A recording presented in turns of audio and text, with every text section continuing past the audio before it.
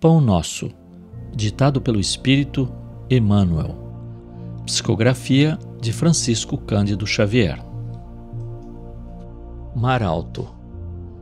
E quando acabou de falar, disse a Simão: Faze-te ao mar alto e lançai as vossas redes para pescar. Lucas 5, 4.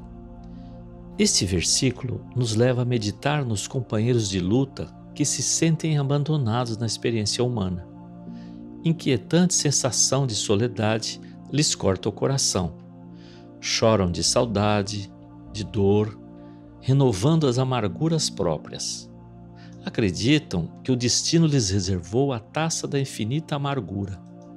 Rememoram compungidos os dias da infância, da juventude, das esperanças crestadas nos conflitos do mundo.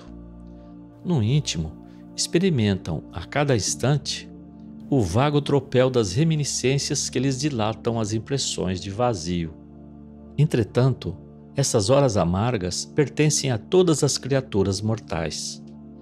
Se alguém as não viveu em determinada região do caminho, espere a sua oportunidade, porquanto, de modo geral, Quase todo o espírito se retira da carne quando os frios sinais de inverno se multiplicam em torno.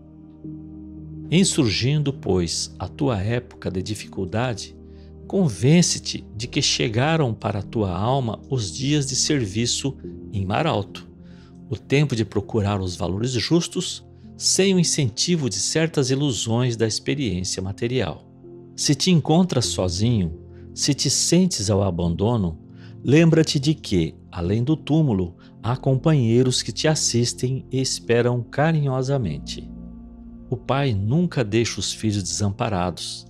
Assim, se te vês presentemente sem laços domésticos, sem amigos certos na paisagem transitória do planeta, é que Jesus te enviou a pleno mar da experiência a fim de provares tuas conquistas em supremas lições.